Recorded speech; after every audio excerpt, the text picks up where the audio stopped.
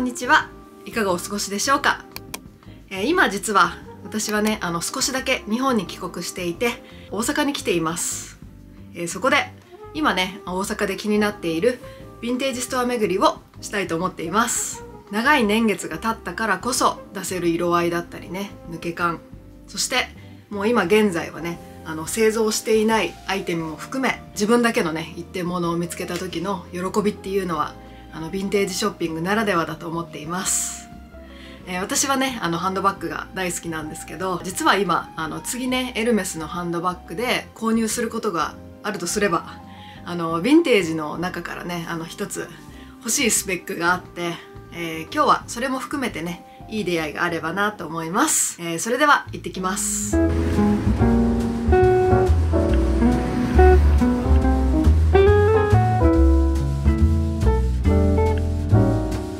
こちらは大阪の観光名所にもなっている心斎橋筋商店街にあるアリューです。心斎橋駅から徒歩6分で到着します。1階がヴィンテージバッグアクセサリー。2階以降がアパレルフロアとなっていて人気のハイブランドが種類豊富に並べられています。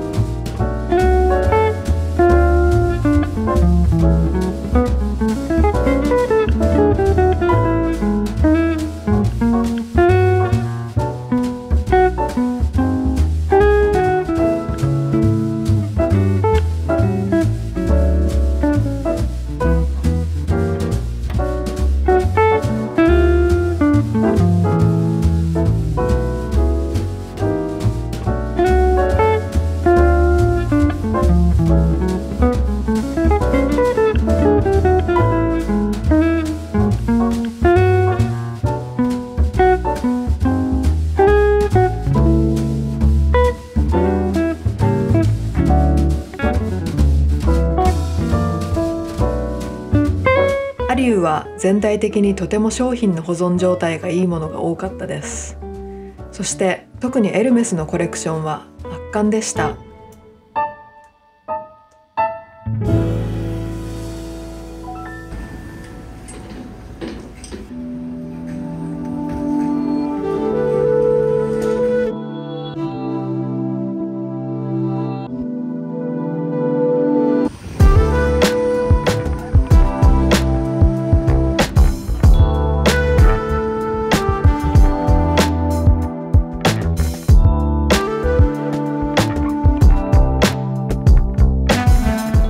とても楽しみにしていたエディ大阪です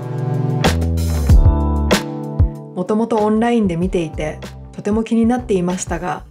前回の東京のヴィンテージストア巡りの時に時間がなくなって行けずじまいになっていて今回は大阪で絶対に行きたいと思っていたお店の一つです。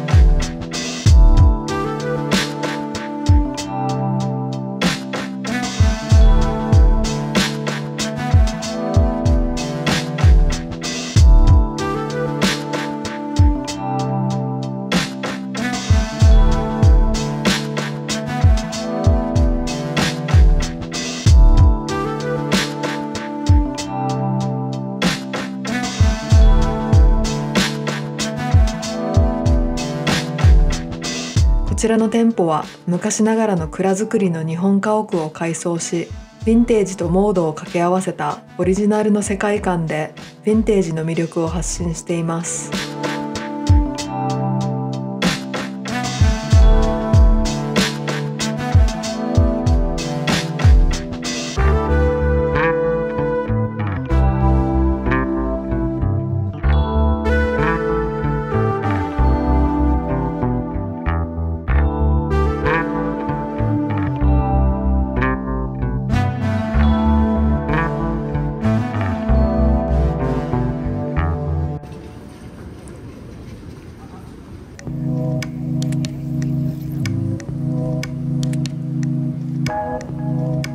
ちらのアウラヴィンテージは世界中の名作名品が集結していてなんと梅田にある本店をはじめ英国パリミラノニューヨークと各国のアイテムが店舗別に分かれているそうで今回はアウラパリとそのお隣に隣接するアウラミラノに行ってきました。今回アウラヴィンテージは視聴者様に教えていただき楽しみにしていたお店の一つです。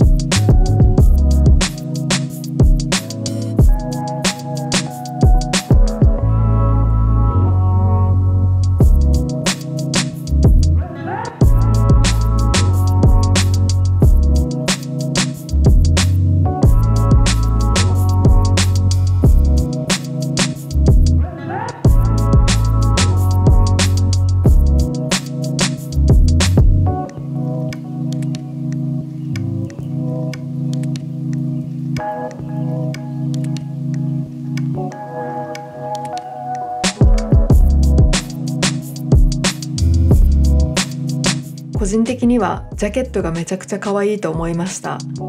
それに他のヴィンテージストアと比較すると価格がリーズナブルで状態のいいハイブランドのアイテムが魅力的でした。ハイブランドのヴィンテージのお洋服を探している方にはおすすめです。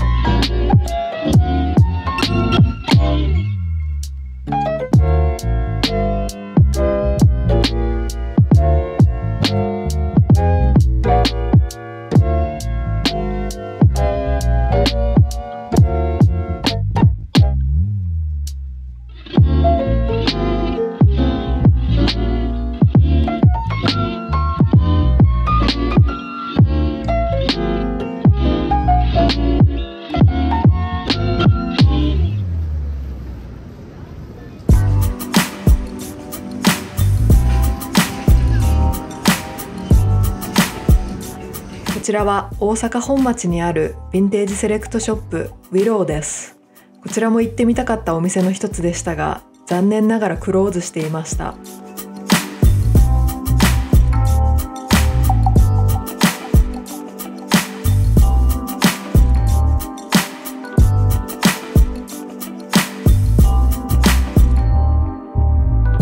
大阪の定番グルメといえばお好み焼きだと私は思っていてこの日の夕飯はお好み焼きを食べに行きました。久しぶりのお好み焼きでお店の方が目の前の鉄板で焼いてくれるっていうのが嬉しくて出来上がるのが待ち遠しかったです。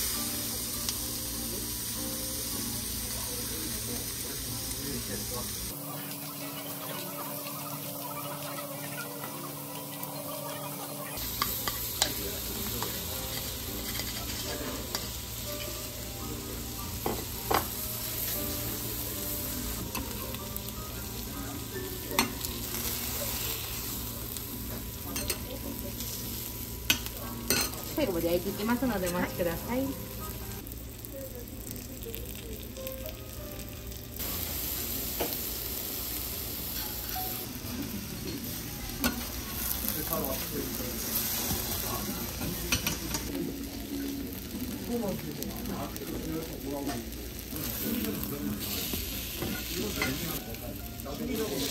次で仕上げます。はい。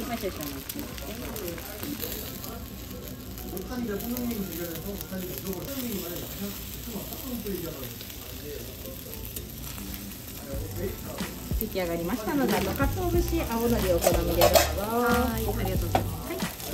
そしてこちらのお好み焼きはとても美味しかったんですが初めてこんにゃくが入ったお好み焼きをいただきました関西風スタイルでしょうか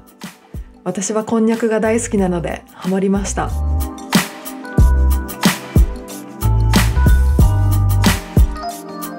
て本日ラストは日本でアパレルとライフスタイル事業を大きく展開しているベイクルーズグループが運営しているデクーベルトというヴィンテージストアです。私は以前からインスタグラムを見ていて気になっていました。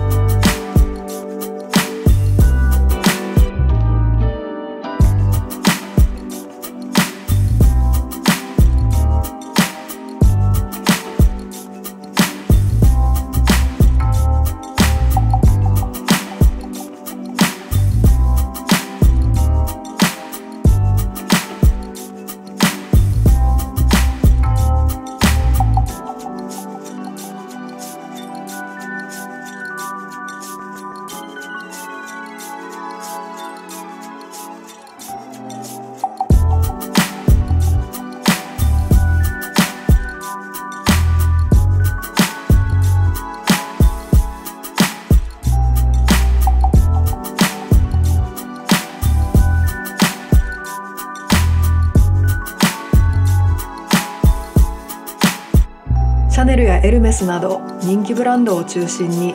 バッグ、スカーフ、アクセサリーなど一点物を扱っています。日本に帰国すると必ず行きたいのが旅館です。今日は今から佐賀県唐津市にある玄界灘の新鮮な海の幸を味わうことができる旅館に行ってきます。こちらの旅館はなんと昭和43年創業の老舗旅館です。この近辺はかつて巨大な城と城下町があったそうでそのため130を超える陣跡が今も残されているそうです。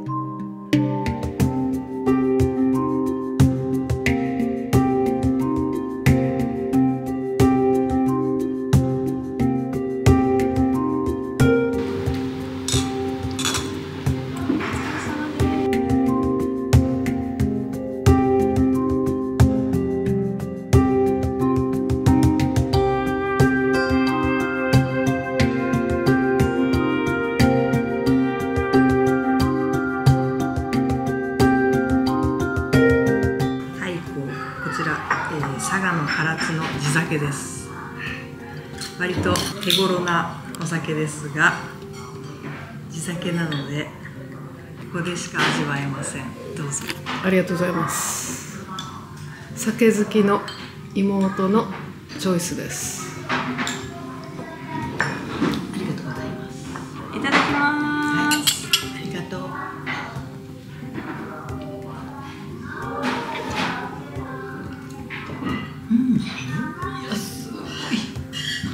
がいい具合に辛口ですね。はい。お料理に合いますね。はい。イカシューマイに合います。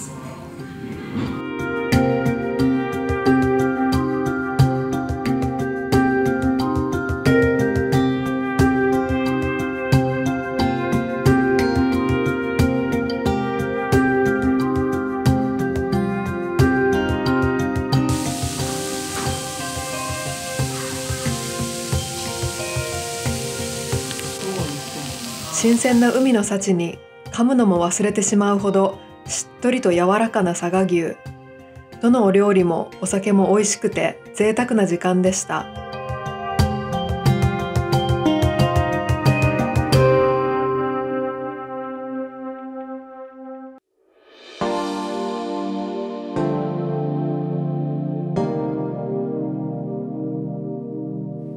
今回も日本のグルメを堪能し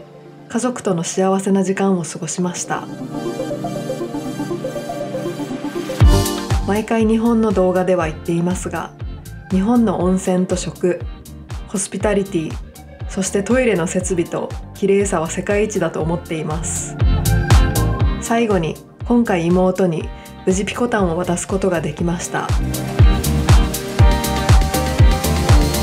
今日の動画をここまでご覧いただきありがとうございます。皆様良い一日をお過ごしください。